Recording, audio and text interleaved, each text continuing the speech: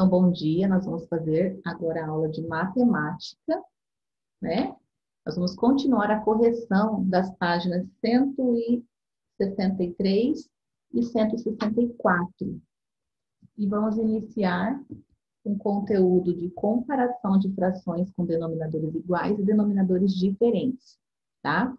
Mas nós vamos primeiro terminar essa correção de ontem, né, que nós não conseguimos terminar. Eu vou compartilhar aqui com vocês, vocês podem estar pegando a apostila.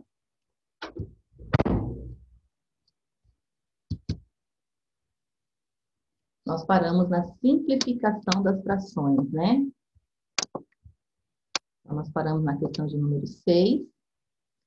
Para simplificar uma fração, eu só posso usar a minha, a, a divisão. É o único cálculo que dá para simplificar.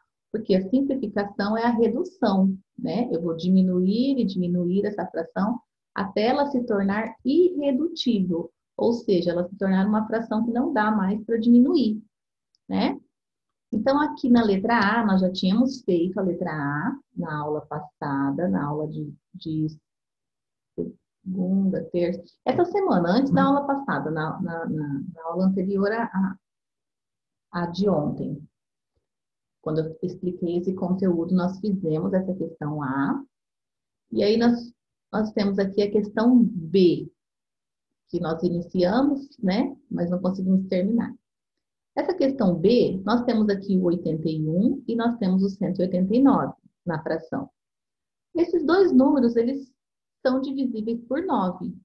E aí eu vou trabalhar com vocês, é, foi algo que a apostila não trouxe, né? Eu estou me limitando ao conteúdo da apostila, porque nós estamos com tempo reduzido e nessa questão da, da distância também.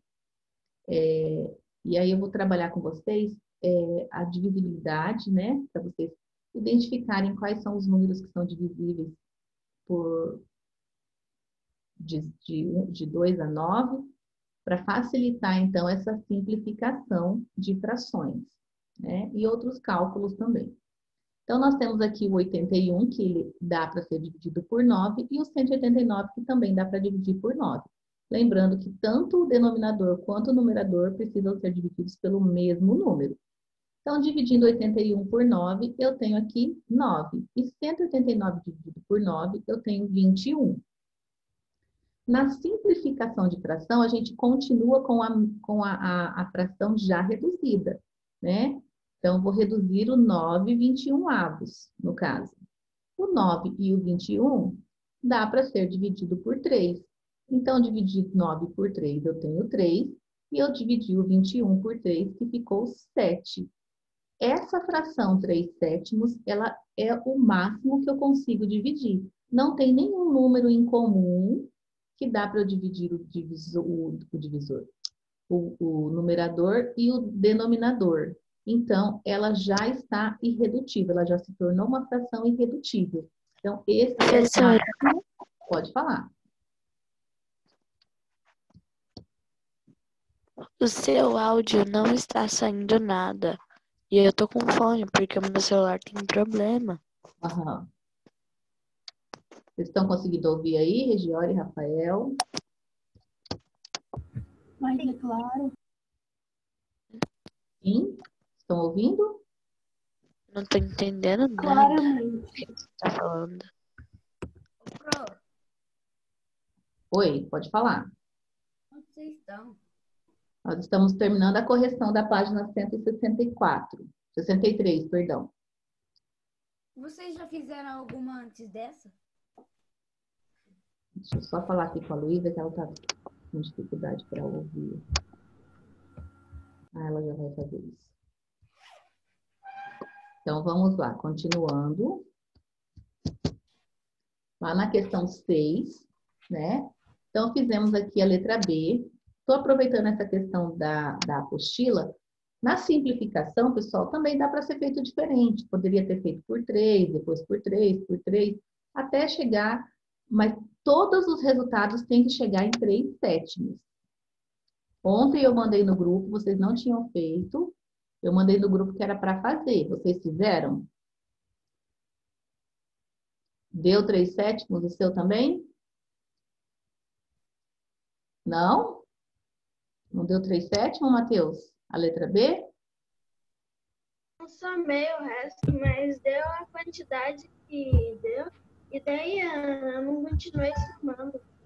Ah, tem, mas na simplificação você tem que continuar até você não ter mais nenhum número para dividir, tá bom? Então, quando a gente está simplificando, você tem que tornar ela irredutível. Lembra que eu, que eu expliquei sobre a fração irredutível? Que é quando o número de cima e o número de baixo não tem nenhum número, nenhum, um, um, não dá para dividir mais, porque eles não têm um divisor em comum.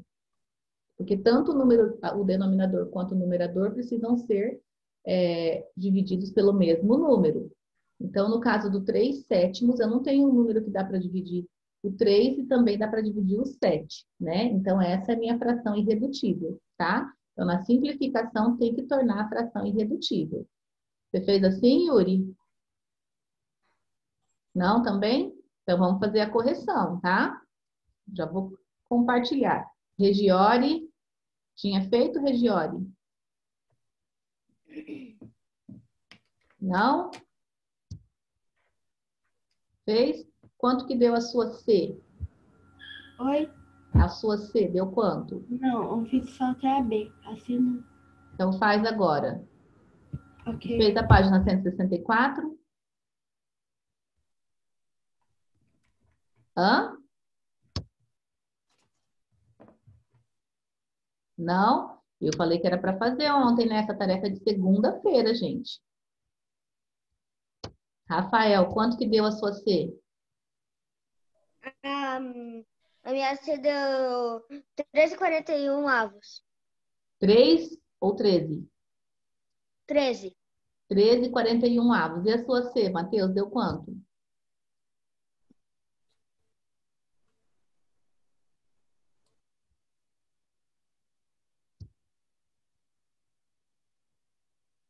Sua C deu quanto, Yuri? Ô, Pro, a minha deu diferente dessa. Não, a letra C. Eu não fiz. Ah, tá. Guilherme.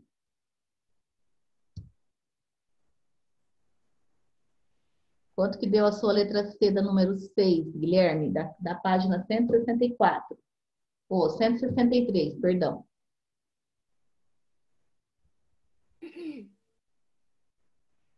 Qual? 163? Isso, página 163. Quem não fez, pessoal, já vai fazendo as simplificações aí. É, cadê o lápis, Yúlia? Vai diminuindo mais, vamos dividir mais até ela se tornar irredutível. 73 ou Esse, 60? Hã? 73 ou 60? 60. 163.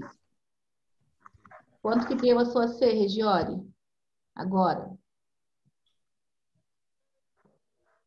Nossa, ainda tô fazendo. Cadê o lápis? Eu não tô vendo você mexendo. Ah. Então faz aí, é rápido, você é tão rápido. lá pra cima, que a cama tá bagunçada. Ah, tá, não tem problema. É que eu, a gente percebe se o aluno tá fazendo ou se tá só disfarçando, viu? Não adianta querer me enganar, não.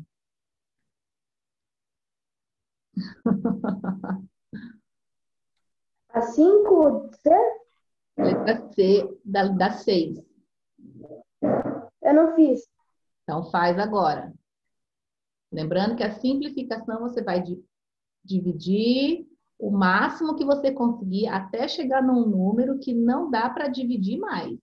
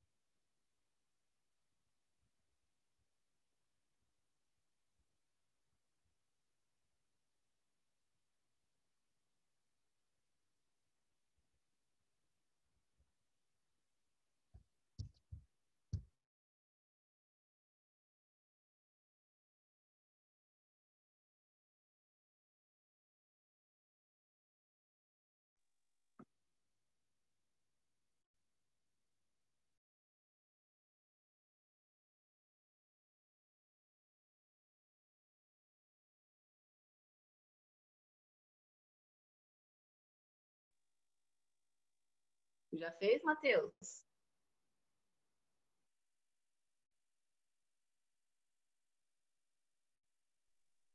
Professora, eu tenho uma pergunta. Aqui na B foi por 9 que dividiu. Na, Uhum. continua dividindo por 9? Não, porque não dá para dividir por 9, né? Depois. Dá? Não. Qual que é? Deixa eu dar uma olhada aqui. Cadê? Peraí. Ah, não, tô com a apostila aqui. Peraí só um pouquinho. Vou só olhar qual é o número, porque eu não lembro mais.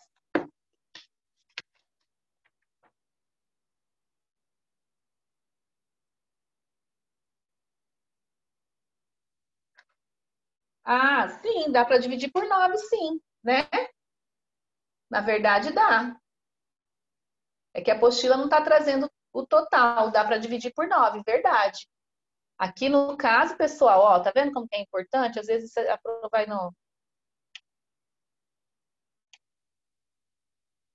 Aqui no caso, não é 3 sétimos, não, dá para dividir aqui por 9 também. Ó, se eu dividir por 9, vê como que a apostila também tem erro, ó. Se eu dividir 9 por 9, eu vou ter 1 aqui. E se eu dividir 21 por 9, eu vou ter o 3.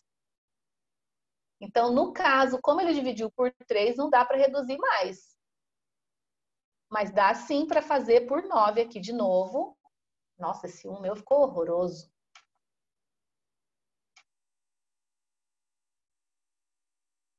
Tornando aqui um terço. Muito bom, Matheus. Alguém tinha feito assim também, pessoal?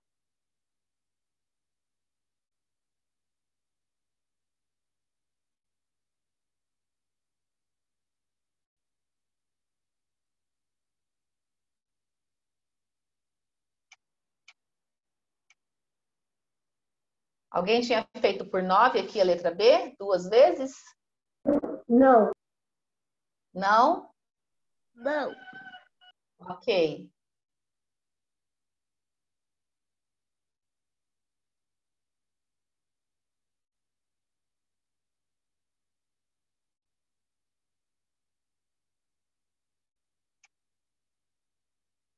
E aí, aqui na letra C, nós temos, então, 78,246 avos, que foi dividido, então, por 3, deu 26,82, né?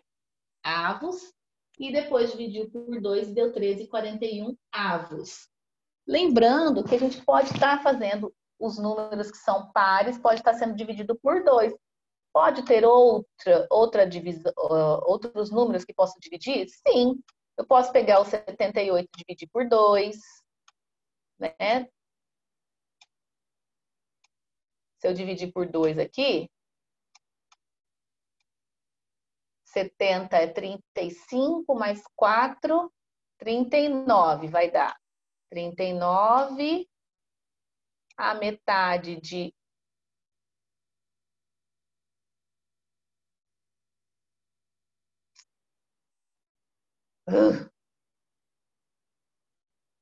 Meio dura hoje. Então, aqui vai dar 39, se eu dividir por 2. E 246, 6 dividido por 2 dá 3, 4 dividido por 2 dá 2, e 2 dividido por 2 dá 1. Fiquei com números ímpares, né? Aqui eu posso dividir por 3. Acho que vai dar a mesma coisa.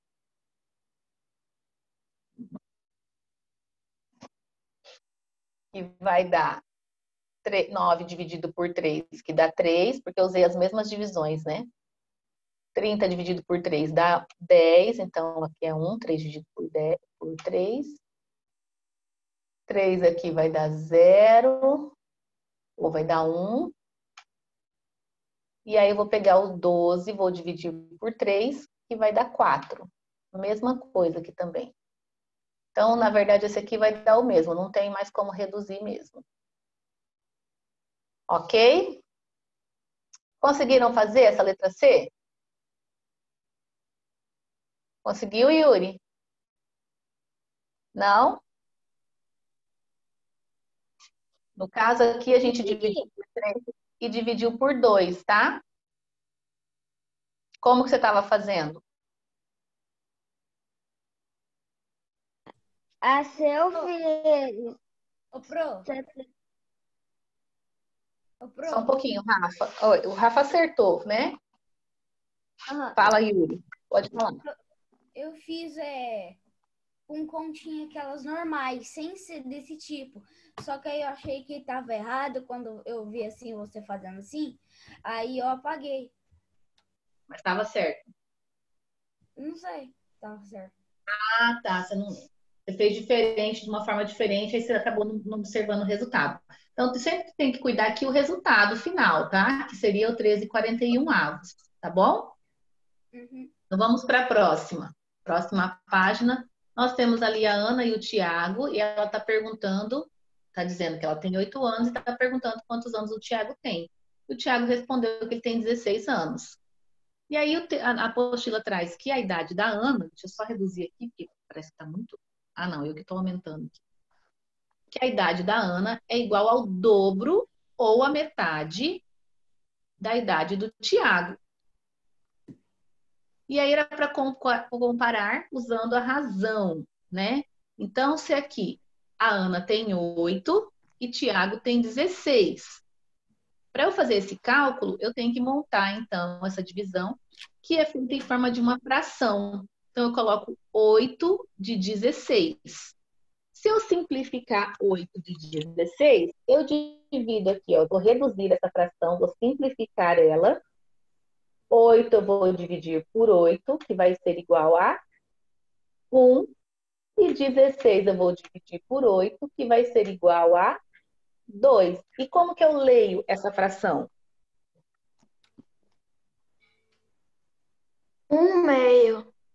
Um meio ou metade, né? Então, então a, logo, a idade da Ana é igual a um meio. E podemos dizer, então, que a idade dela é igual a metade da idade do Tiago, né? Nós estamos lá na página 164 agora, tá bom? Então, a idade da Ana é igual a metade da idade do Tiago. Na questão de número 8, está dizendo que em uma turma, com 36 alunos, 12 preferem voleibol. E aí está perguntando qual é a razão. Então, nós vamos organizar essa razão pegando o total, a quantidade total de alunos, e montando uma fração com a quantidade que prefere o voleibol.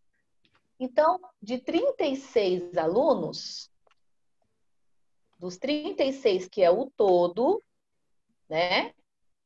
12 preferem voleibol. Então, essa é a fração que representa a razão dessa turma de 36 alunos que em que 12 preferem voleibol. Então, eu tenho aqui uma fração que, que vai ficar 12 36 avos.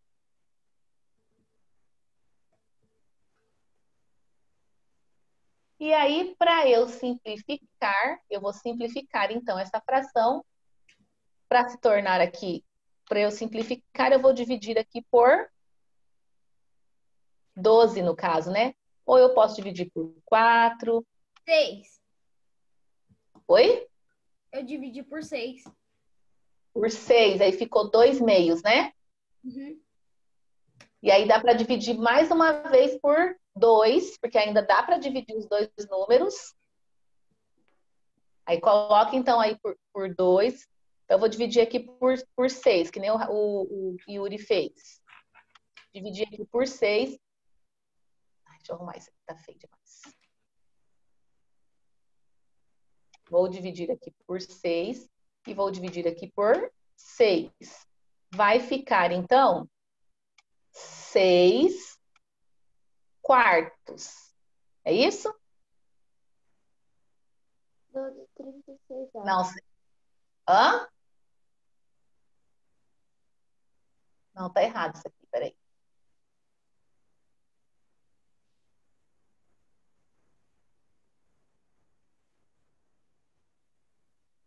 Dois sextos. Eu, eu tô doida. fazendo as contas erradas aqui. 2 e 4, gente. Eu tô colocando 4 aqui, é 6. 2 sextos que vai ficar. Eu tá doida. 2, é que eu tava calculando, pensando no 4 aqui. 2 sextos. E aí eu posso continuar dividindo esse, essa fração, tornando ela irredutível. Eu posso ainda continuar dividindo ela por 2, tá, Yuri? Continuo dividindo ela aqui por 2. 2 dividido por 2 vai ser igual a 1. E 6 dividido por 2 vai ser igual a 3. Então, acrescenta essa divisão aí, tá? No seu. Ô, Pro, Oi. você fez igualzinha a mim. Ah, você chegou num terço? Sim, Ah, Foi. tá, entendi. eu dividi por dois também. Dividiu por 2 e depois divi- dividiu por 6 primeiro, né? Uhum. Ah, tá. Porque. Ai, Senhor. Porque primeiro. O resultado final não é a primeira divisão, tá, pessoal? O resultado final é a última. A última divisão, o último resultado, a última fração que forma aqui, ó. No caso, um terço. Ok? Vamos continuar aqui. Então, a cada três alunos do todo, cada três alunos, um prefere voleibol. Aqui nós temos uma caixa com várias bolinhas dentro e era para escrever a razão. Então, ao todo, nós temos uma, duas, três, quatro, cinco, seis, sete, oito, nove bolinhas, né? Então, o meu denominador vai ser igual a nove. E aí tá perguntando aqui de azuis e vermelhas.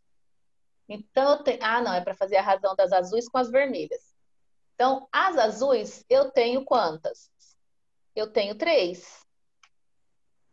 E as vermelhas são uma, duas, três, quatro, cinco, seis. Então, três sextos é a minha razão entre a quantidade de bolinhas azuis e vermelhas. O total, ao todo, eu tenho nove bolinhas, né? Bolinhas vermelhas aqui no caso e o total. Das vermelhas, eu tenho seis bolinhas de nove. E as azuis aqui, e aí foi simplificado no caso, né? Aqui simplificou por três. Aqui foi dividido por três, tá, gente? Para chegar nesse resultado. Foi simplificado por três. Para tornar, então, dois terços. Aqui também foi simplificado por três.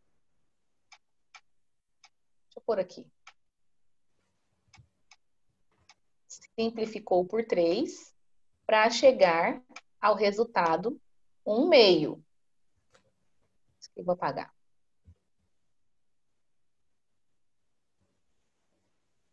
E aí, do total de bolinhas azuis, né? A, a quantidade de bolinhas azuis pelo total. Ao todo, nós vimos que nós temos nove bolinhas e as bolinhas azuis são três. E aí foi simplificado também por três aqui. O que tornou, então, a quantidade, a fração um terço, né? Vocês conseguiram fazer essa? Essa aqui é um pouquinho mais complicada, não é, não é difícil, só é um pouquinho mais complexa na, na, na, situação de, de entender essa razão, né? Ô, Pro, Oi. você pode é, voltar na página 163 para eu tirar print, que eu não consegui copiar. Eu tinha errado. Tá.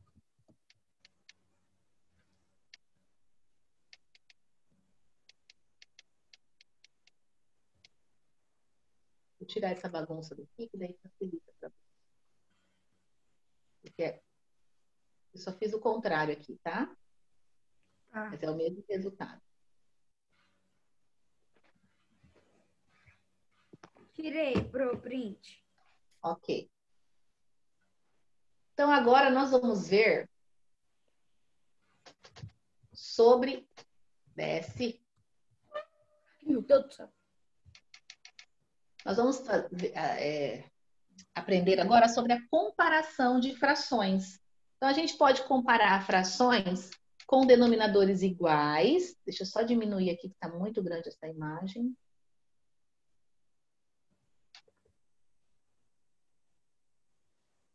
Com os denominadores iguais, né? E aí, quando eu tenho denominadores que são iguais, é só você olhar aqui o seu numerador. Se 6 décimos e 10 e 5 décimos, qual que, que é maior? 6 décimos ou 5 décimos? Se eu tiver uma pizza de 10 pedaços e eu comer 6, e o, o, o Regiore tem uma pizza de 10 pedaços e come 5, quem comeu mais? Você. Exatamente. Então, 6 décimos, quando eu tenho o mesmo numerador. Quando eu tenho o mesmo numerador, eu vou observar somente o meu numerador. Então, o numerador que for maior representa a, a fração maior. O, o, numerador que for menor representa a fração menor, tá? Denominadores iguais. Pro, Mas e quando? Oi? você não falou que era para fazer até 164? Sim, mas eu vou explicar esse conteúdo para vocês hoje. Ô, Pro, meu, eu vou te falar um negócio. Eu Pode falei falar. pro meu pra, eu falei pro meu pai é, que você falou pra é, fazer até Era- 100 até 164. Ele fez eu ir até a 169. Você, viu? Você não riscou lá, você não colocou assim, ó. A professora falou para fazer outro dia. Anota, você tem que começar a anotar, não fica só tirando print, não. Eu falei, só que ele não me ouviu. Então tá, então hoje nós vamos aprender essa, essa página nova e aí nós vamos ter que fazer, mas não, nós vamos fazer juntos essas páginas, tá? Tá. Então vamos lá. Então aqui está representando o inteiro aqui dividido em 10 partes e pintou as seis e pintou as cinco, né? As cinco partes do Edson, no caso, dos meus, das minhas pizzas, as seis partes da minha pizza e as cinco partes da pizza do Regiore. Da barra de chocolate, então, do Regiore. E aí, nós podemos observar aqui que 6 é maior que 5 quando nós temos a mesma divisão. Então, quando o meu denominador é igual, eu só observo o numerador. Mas e quando eu tenho. Ah, tá. Então vamos fazer aqui lá na página 166. Agora nós vamos fazer, tá? Fazer juntos. Página 166. Então, só olha aí na, na, na tela do, do celular ou do computador, de acordo com essas duas figuras que tem aí. Qual fração é maior? 6 décimos ou 5 décimos?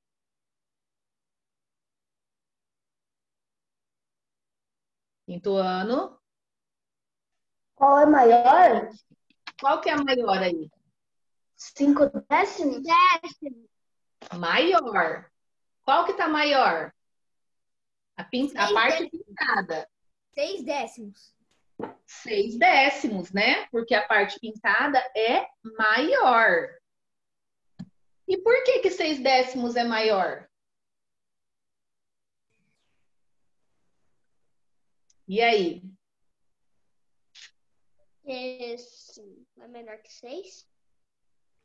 Exatamente, porque seis partes pintadas é maior, é uma quantidade maior do que cinco partes, né?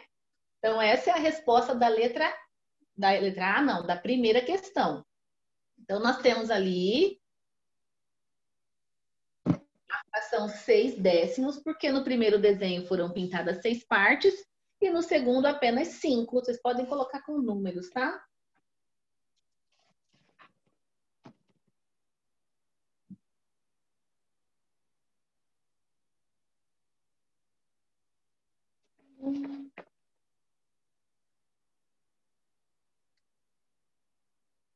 E aí nós temos embaixo uma frase que é para ser completada, né? Com a fração certa. Então nós temos como um espaço para pôr a fração, um sinal de maior, né? E mais um espaço. Então, Qual é a fração maior?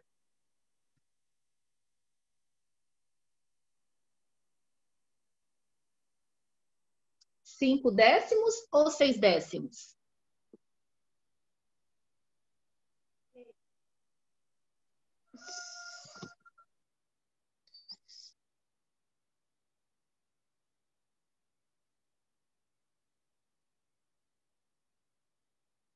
Então, vocês tinham falado para mim que seis décimos, já está escrito aqui, né? Então, como seis décimos é maior, lembrando que quem tiver dificuldade para poder lembrar dos sinaizinhos, ó, quando eu tenho, vou colocar aqui, ó, maior e menor, faz um risquinho aqui. Que número que fica aparecendo esse número? Esse sinal, quer dizer? Pessoal, vocês estão me ouvindo? Sim. Esse número, eu coloquei aqui o sinal de maior e pus um risquinho. Que número que ficou aparecendo? O sete. Parece o 7. E se eu fizer um risquinho aqui? Parece qual número? Quatro. Parece o 4. Qual que é maior, o 7 ou o 4? Sete. Sete. Então, esse sinal aqui é maior. E a boquinha do jacaré sempre vai estar aberta para o maior. Esse sinal aqui é menor, né? Então, lembra disso. Tem a questão da boquinha do jacaré, que a boquinha do jacaré sempre abre para o maior, no caso, né? Mas eu prefiro esse, esse aqui. Eu, eu, eu uso sempre esse daqui para ensinar. Sinal de maior e menor. Então, vamos lá. E quando eu tenho, então, um denominador que é diferente? A apostila está trazendo aqui uma situação, né? Em que uma turma de quinto ano, é, e que em uma turma de quinto ano, seis oitavos dos alunos são meninos e um quarto são meninas. Então, é, para saber se há mais meninos ou meninas, a gente tem que comparar essas frações. Só que quando é, cinco, seis oitavos e um quarto têm denominadores diferentes, o que, que vocês acham que a gente precisa fazer para conseguir fazer essa comparação das frações? E aí? Como que ficou fácil de fazer a comparação? Por que, que cinco décimos e seis décimos foi fácil fazer essa comparação?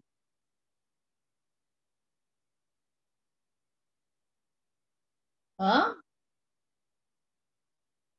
Foi fácil comparar os cinco décimos com seis décimos, foi? Sim, pois seria um e dois lá, esqueci o nome. Denominador? É denominador. Porque o denominador tá igual, né? Uhum. E como que eu posso fazer com uma fração que tem denominador diferente? Nós aprendemos sobre frações equivalentes na nas aulas passadas, né? Como que eu posso fazer, então, com denominadores diferentes? O que, que eu posso fazer com essas frações que têm denominadores diferentes para conseguir fazer essa comparação?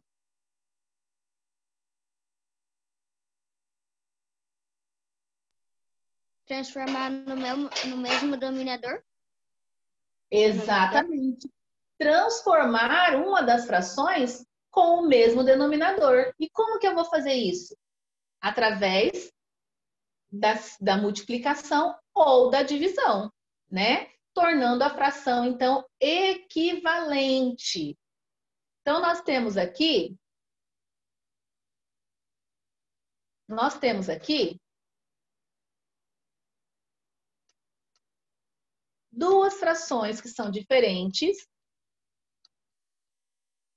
E aí eu vou, vou, vou transformar em uma fração em que elas tenham o mesmo denominador. Então, o 8 e o 4, no caso aqui da apostila, eles fizeram a multiplicação. Porque eu posso multiplicar por qualquer número. A multiplicação é mais fácil, é a forma mais fácil de simplificar, porque você só pensa no número e multiplica o de cima e o de baixo da fração, né? O denominador e o numerador. Só que na divisão você já tem que pensar se é o mesmo, o número que dá para dividir o numerador também dá para dividir o denominador. Então, aqui, eles multiplicaram por 2. Mas eu poderia também. Então, quando multiplicou por 2 o 6, ele transformou o 6 em 12 e o 8 transformou em 16.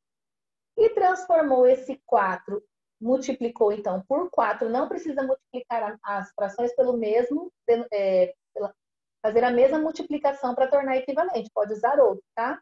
E o, o, o, numerador também multiplicou por 4 e tornou então a fração 4 16 avos, que ficou com o mesmo denominador. E aí nós podemos observar que a quantidade de meninos ou meninas é maior. 6 oitavos de meninos ou um quarto de meninas? Qual Meninos. que é maior? Meninos. Meninos. Nós vamos, eu vou, vou, vou mandar o link da próxima aula pra gente, logo em seguida, tá? Já vou mandar o próximo link. A gente tem menos de um minuto para continuar essa explicação aqui.